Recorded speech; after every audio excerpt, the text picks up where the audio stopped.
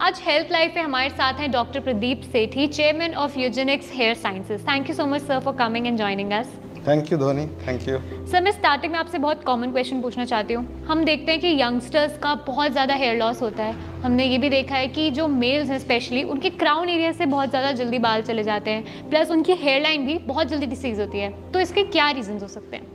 ध्वनि एक बहुत बेसिक पॉइंट है कि आ, जो anybody who is a male he is potentially bald तो मेल हार्मोन जो है वो बॉल्डनेस कर सकता है। तो अगर कोई बॉल्ड है तो he is not lucky and कोई बॉल्ड नहीं है तो ही इज़ लकी बस इतना ही है बट कोई बीमारी नहीं है. और uh, अगर फैमिली हिस्ट्री है बॉल्डनेस का मदर साइड फादर साइड तो जेनेटिकली अगर है तो फिर उस इंसान को होने के चांसेस बढ़ जाते हैं. अगर एक बार शुरू हुआ और उसकी लाइफस्टाइल ख़राब है चाहे स्लिपिंग हो चाहे स्मोकिंग अल्कोहल से लेके यू नो बैड डाइट हो तो एक बार शुरू हुआ वो रैपिडली प्रोग्रेस कर सकता है. तो ये जो आपने बोला यंगस्टर में जल्दी जल्दी जो हो रहा है because of bad lifestyle bad diet you know all those things they are affecting the baldness but वो शुरू बॉल्डनेस नहीं करा सकते। बॉल्डनेस अगर एक बार शुरू हो गया देन इसको बढ़ा सकते हैं। तो ये है। तो पहले uh, जो करीब करीब 25-30 साल या 40 साल के बाद बॉल्डनेस दिखता था आजकल वो कुछ 19 20 21 22 23 साल में दिखते हैं। तो मैंने uh, एक कोई 16 साल के बच्चे को देखा। इतना बॉल्डनेस था कि आ, मुझे बहुत डर लगा बिकॉज़ मेरा खुद का आई कैंट इमेजिन कि समबडी 16 साल में आ, इतना बॉल्ड हो जाएगा। So lifestyle is affecting the early onset of the baldness so do you think that alcohol smoking ये ज़्यादा इफ़ेक्ट करते हैं? मतलब ऑफ़ कोर्स जंक फ़ूड भी करता होगा कहीं ना कहीं but alcohol tobacco in the sense और ये ज़्यादा इफ़ेक्ट करते ये सारे चीज़ें जो है ना इनिशिएट नहीं कर सकते। बट एक बार शुरू हो गया तो ये सारे के सारे जो पूरा प्रोसेस ऑफ़ बॉल्डनेस को ये एस्केलेट कर सकते हैं। कहीं ना कहीं डेफिनेटली इनका रोल है बढ़ाने के लिए। क्लाइंट की आप जब भी टेस्टिंग करते हैं अगर क्लाइंट को डायबिटीज़ है तो तब भी उसका हेयर हेयर ट्रांसप्लांट करना पॉसिबल है या उसको हीलिंग में ज़्यादा टाइम लगता है? एकदम एकदम। तो कॉमन सेंस है कि अगर डायबिटीज़ है तो उसको टिश्यू की जो ऊंड है चाहे छोटा ऊंड हो या बड़ा ऊंड हो वो हीलिंग में ज़्यादा टाइम लगेगा। तो चूँकि हेयर ट्रांसप्लांट एक कॉस्मेटिक प्रोसीजर है, बड़ा इलेक्टिव प्रोसीजर है, कोई इमरजेंसी है नहीं तो उसमें चांस लेने की कोई ज़रूरत तो है नहीं। तो आप एकदम टाइम दीजिए कि उसके डायबिटीज़ कंट्रोल में आए फास्टिंग ब्लड शुगर कंट्रोल में आए ग्लाइकोसिलेटेड हीमोग्लोबिन कंट्रोल में आए। तो अगर कंट्रोल में आ जाए देन उसको हम कर सकते हैं। तो जब तो उसका मतलब ये है जो आपको सवाल का जो समरी है कि क्या डायबिटीज़ वाले पेशेंट कर सकते हैं आंसर यस कर सकते हैं लेकिन वो शुगर लेवल कंट्रोल में आ जाए तभी करना चाहिए। और हम लोग कंट्रोल करा यू नो एंडोक्रानोलॉजिस्ट से बात करके वो कंट्रोल करा सकते हैं। बहुत बार कई बार होता है कि पेशेंट को खुद पता नहीं होता है कि उसको शुगर उसको बढ़ा हुआ था। तो टेस्टिंग में समझ में आता है। तो एक एक टाइप से स्क्रीनिंग हो जाती है जब हम ब्लड टेस्ट करवाते हैं। स्क्रीनिंग से उसको समझ में आता है। डायबिटीज़ में हेयर ट्रांसप्लांट एकदम कर सकते हैं शुगर को कंट्रोल करा के। अगर हम हेयर पैचेस की बात करें वो भी क्या एक सर्टेन एज में आके लोग लगवाते हैं या किसी भी एज का बंदा हेयर पैचेस के लिए ऑप्शन मतलब जाता है? हेयर पैच एक्चुअली क्या है? आपको पता है कि वो एक आर्टिफिशियल चीज़ है जिसमें लाइफ नहीं है। टोपी टाइप की कोई चीज़ है इसको ऊपर से चिपका देते हैं। या फिर वो गोंद से चिपकाते हैं या फिर वो क्लिप से चिपकाते हैं। ठीक है? कोई छोटा लगाता है कोई बड़ा लगाता है कोई विग सामने से पीछे तक पूरा बड़ा भी लगा देते हैं। जिसमें फिक्स्ड एक एक हेयर स्टाइल रहता है उसको आप चेंज नहीं कर सकते। जिनको मल्टीपल फैक्टर्स कई बार कई बार जो है ना उनको जो गंजा होता है, उसको लगता है कि मैं हेयर ट्रांसप्लांट मेरा हो ही नहीं सकता बढ़िया तो इतना डेंसिटी नहीं आएगा। उसको वैसे जो पैच जो बेचते हैं, वो उसी हिसाब से उसको एक ड्राइव करके लेके चलते हैं कि देखो हेयर ट्रांसप्लांट तुम्हारा कुछ भला होने वाला है नहीं तो आप पैच ही लगा लो पैच डेंस दिखेगा नेचुरल दिखेगा। वो उसी लाइन से चलते हैं बट अल्टीमेटली हमारे पास जो पेशेंट आते हैं, वो तो ट्रांसप्लांट करने के लिए आते हैं। जब थक जाते हैं पैच लगा के तब आते हैं। तो बोलते हैं, सर, इतना मेंटेनेंस है। हर पंद्रह दिन में आपको जाके उसकी क्लीनिंग करना पड़ेगा। कई बार उसके नीचे इचिंग होती है, उसके नीचे फोड़ा फुंसी, कई बार उसमें बड़े बड़े घाव हो जाते हैं, अगर मेंटेनेंस नहीं करते हैं। और कुल मिला के you become a slave to that है ना? आप उसका स्लेब बन जाते हो। और मतलब बहुत कॉशस हो गया आपको स्विमिंग पूल हो या अपने फ्रेंड सर्कल में घूम रहे हो, कोई किसी ने खींच लिया, कुछ कर लिया। बड़े सारी चीज़ें हैं। तो शुरू के एक डेढ़ साल के बाद मोस्ट ऑफ़ द लोग ना थक जाते हैं। तो हमारे बहुत बड़े एग्ज़ाम्पल हैं अनूप जलोटा जी। वो पैच पहनते थे। बड़े साल से पहनते थे, क्योंकि उनको लगा था कि उनके बाल पतले हैं तो इतना मतलब कवर हो नहीं सकता। तो हमने बड़ी स्ट्रैटेजी बना के उनकी पैच को निकालने की कोशिश करी। और जहाँ उनके पैच का हेयर लाइन था, उसी जगह पे हेयर लाइन लाने की कोशिश करी। तो हमने कुछ सीरीज़ ऑफ़ वीडियोस बनाए हैं कि पैच से कैसे निकलें। ऑलमोस्ट मोस्ट ऑफ़ द लोग दुखी रहते हैं पैच पहन के।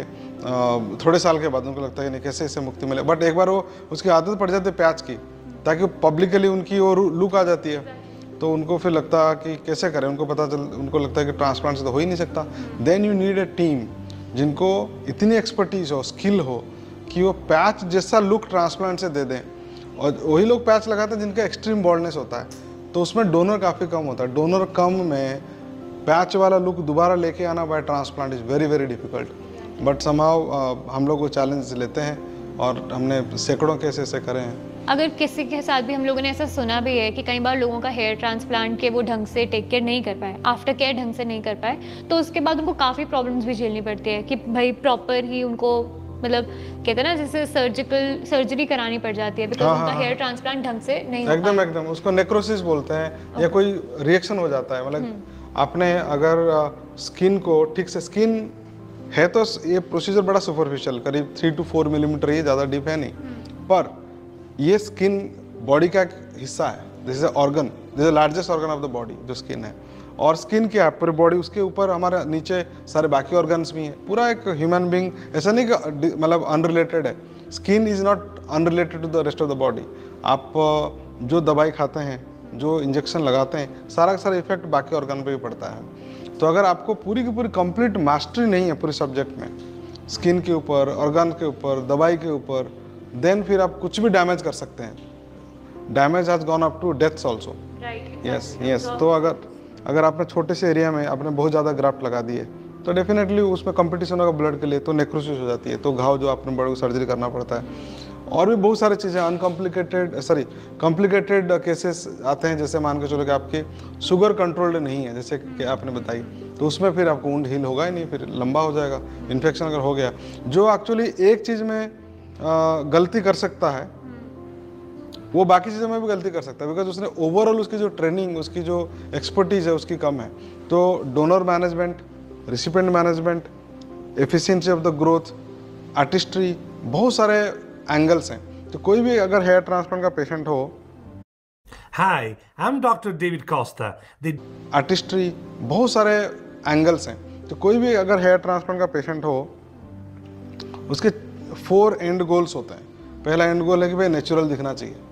खाली बाल उग जाए that is not enough it should look very very natural ताकि किसी को पता ना चले कि उसने बाल लगाए हुए हैं। अभी हमने कल शाम को मेरे साथ बोनी कपूर जी आए थे उनको पाँच महीने हुए हैं। आप देखिएगा, किसी को पता ही नहीं चल रहा है। मतलब कि बाल लगे हुए हैं। तो उसमें आर्टिस्ट्री बहुत इंपॉर्टेंट है कि, बालों की पोजिशनिंग ऐसे हो। उसमें बहुत सारा आर्टिस्ट्री है कि वो नेचुरल दिखे। सेकेंड है कि जितना बड़ा एरिया है खाली वो सारा कवर हो ताकि स्काल्प ना दिखे। वो बहुत बड़ा टास्क है। वही बोनी जी का, या फिर मैं अगर इनका, मोहम्मद सामी का केस लूँ अजहरुद्दीन का केस लूँ, अनूप जी का बड़े बड़े एरियाज़ हैं। उसको एक सिटिंग में नहीं हो सकता कि वह दो तीन सिटिंग लगते हैं। और अगर आपका स्किल और यू नो एक्सपर्टीज नहीं है तो आप कर नहीं सकते। आप सामने से थोड़ा सा करोगे, पीछे आप आप छोड़ दोगे। सामने ठीक से आएगा भी नहीं ग्रोथ सेकंड पॉइंट बोला कि पूरा कवर कोई भी कितना भी गंजा हो, उसके माइंड में रहता है कि मेरा पूरा एरिया कवर हो जाए। फिर जो थर्ड जो पॉइंट है कि डेंसिटी ऐसे हो, जो बालाएँ तो स्काल्प ना दिखे। स्काल्प अगर दिख गया तो फिर तो पर्पस डिफीट ही हो गया था। तो वो भी आपको उतना होना चाहिए कि कम बालों में ऐसे इल्यूजन क्रिएट करो, ताकि वो दिखे कि भरा भरा आपको मैं बोनी जी का दिखाऊँगा, पाँच महीने वाला कि एकदम भरा भरा दिख रहा है। सर आपने बोनी कपूर जी का नाम लिया। इसी के साथ साथ हमने देखा है कि आपने एलविश यादव का भी हेयर ट्रांसप्लांट किया था आपने क्रिकेटर शम्मी का भी किया है साथ ही आपने यूट्यूबर्स काफ़ी यूट्यूबर्स का भी किया है आपने अनूप जलोटा का भी हेयर ट्रांसप्लांट किया है। हमारे पास कुछ रूमर्स भी होते हैं ना जैसे लोग कहते हैं कि अमिताभ बच्चन भी पैच लगाते हैं। उनका देखो मैं अमिताभ बच्चन जी को कभी इन पर्सन कभी मिला भी नहीं और फ़ोटो हम लोग देखते हैं तो उसके मैं कमेंट ज़्यादा नहीं करूँगा क्योंकि मेरे पेशेंट लोग खुद है नहीं। आ, उनके बारे में कमेंट नहीं करूँगा। बट बाकी जो आपने बोला कि हाँ पैच तो बहुत सारे लोग लगाते हैं। अगर किसी की हेयर स्टाइल फिक्स्ड है चेंज नहीं हो रहा है तो ऑब्वियसली दूर से दिखता है कि ये तो पैच ही होगा। और अगर वो बाल जो है ना बहुत ज़्यादा घने दिख रहे हैं that is that that means it is too good to be true तो वो आपको नाम नहीं लूँगा बहुत सारे आपको जैसे मीडिया पर्सनालिटीज़ हैं टीवी पर्सनालिटीज़ हैं उसमें आपको समझ में आता है कि हाँ ये पैच पहने हुए और कई बार उनको लगता है कि पैच वाला लुक में ट्रांसप्लांट से मेरे को दोबारा से आएगा नहीं और मैं ऑलरेडी लोगों ने मुझे ये वाला एक्सेप्ट कर लिया है। तो फिर वो क्या पैच है नहीं निकालते। और फिर आपको राइट डॉक्टर के पास पहुँचना पड़ेगा जिसको ये इसकी यू नो एक्सपर्टीज हो to give you that look back which you had with a patch वो इतना आसान तो है नहीं बहुत इतना आसान तो है नहीं बहुत मुश्किल है कि पैच वाला डेंसिटी पैच वाला you know aggressive hairline और ट्रांसप्लांट से there are very very few doctors in the whole world including Eugenix we can do that right and if we talk about patches लोग जैसे आपने बोला कि लोगों को पैचेस की आदत हो जाती है ठीक है? अगर किसी ने रिसेंटली पैच से हेयर ट्रांसप्लांट पे स्विच किया है तो उसके लिए कितना मुश्किल होता है उसकी टेक केयर करना? कितना मुश्किल होता है उस चीज़ में एडजस्ट होना? हाँ एकदम बहुत बढ़िया पॉइंट है कि कि सबसे पहले तो उसको ये समझ में आना चाहिए कि भाई जो पैच की जो डेंसिटी थी मेरे ट्रांसप्लांट से डेंसिटी नहीं होगा। He should be okay with that first अगर वो मेंटली ये मान गया कि ठीक है hmm. जैसे अनूप जी अनूप जी मान के चले कि मेरा डेंसिटी थोड़ा कम ही होने वाला है और मैं थोड़ा इसमें टॉपिक पाउडर थोड़ा डालूँगा ताकि और डेंसिटी दिखे। तो वो कैमोफ्लेज करूँगा। तो वो चल मतलब mentally has accepted this point first तो उनके लिए बहुत आसान हो गया। तो जो ट्रांसप्लांट पैच को निकाल के ट्रांसप्लांट किया। ट्रांसप्लांट के बाल को आते आते आते अभी रिसेंटली कोई हमारा बहुत क्लोज फ्रेंड है पब्लिक फिगर है। बड़ा सा, मोटा सा पैच पहनते थे। तो हमने उनको पैच जो है उनको हटा के उनको ट्रांसप्लांट करना ही था ट्रांसप्लांट किया हमने। और बहुत ही अच्छे रिज़ल्ट आए। उन्होंने करीब करीब सात आठ महीने एक कैप पहन के रखा। ताकि वो पूरा सारे के सारे बाल आएँगे तब मैं कैप उतारूँगा। सडनली मैं कैप नहीं उतारूँगा। तो टाइम लगता है बालों को आठ से दस महीने लग जाते हैं मिनिमम मिनिमम कई बार बारह महीने में लग जाते हैं। तो उन्होंने ऐसा किया कि वो मेंटली प्रिपेयर होकर चले थे। कि भाई आठ दस महीने तक मैं कैप पहनूँगा मेरे धीरे धीरे मेरे बाल आएँगे। अनूप जी ने अपना हिमाचली कैप तो पहने करीब करीब छः सात आठ महीने। अनूप जी का अगर ट्रांसप्लांट के बाद उनका देखो 2018 में वो बिग बॉस में जो गए जस्ट उससे पहले transplant Anup ji Bigg Boss में गए थे तो उससे पहले उन्होंने वो वाला करा था। तो एकदम मेंटली तो प्रिपेयर होना पड़ेगा कि आठ नौ महीने की मेरे को I have to do something different and मेरे बाल तब तक आने में टाइम लगता है। तो या वैसे क्या ये हेयर ट्रांसप्लांट का प्रोसीजर पेनफुल होता है? हेयर देखो ये तो जो स्किन है ना ये तो मतलब ज़िंदा स्किन है हमारा। जैसे हम लोग ऐसे चुट्टी करते हैं तो भी दर्द होता है हल्का सा तो ये इंसुलिन सिरिंज से मोस्टली काम होता है ऑल ओवर द वर्ल्ड तो शुरू के पाँच छः या सात आठ प्रिक्स होते हैं। जैसे मैंने बोला इंसुलिन सिरिंज जो खुद लोग इंसुलिन लगाते हैं। तो अगर खुद लगा सकते हैं तो उसका मतलब मतलब you know they can take it तो छः सात आठ अगर इंजेक्शन लगे उसके बाद पूरा नम हो जाती है सामने वाला। पीछे भी जैसे निकालते हैं या कहीं से भी निकालते हैं, हम कई बार चेहरे से भी निकालते हैं तो नमिंग के इंजेक्शन लगा देते हैं। तो एक बार नम हो गया, उसका इफ़ेक्ट रहता है करीब तीन चार घंटे। तीन चार घंटे काम करते हैं। जैसे उसका नंबिंग का इफ़ेक्ट कम होता जाता है, फिर दोबारा उसको महसूस होता है कि मेरे को दर्द आना शुरू हो गया।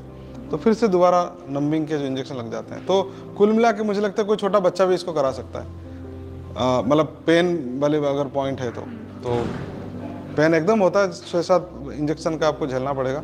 But after that after you have negotiated दो six seven pricks then it is seamless and you can take it off ठीक है। Thank you so much sir for your time I hope हमारी ऑडियंस को अपने सारे answers मिल गए होंगे। अगर आप भी हेयर ट्रांसप्लांट कराना चाहते हैं तो सर ने जैसा कहा अपनी रिसर्च पक्की कर कर ही एक डॉक्टर के पास जाना। एकदम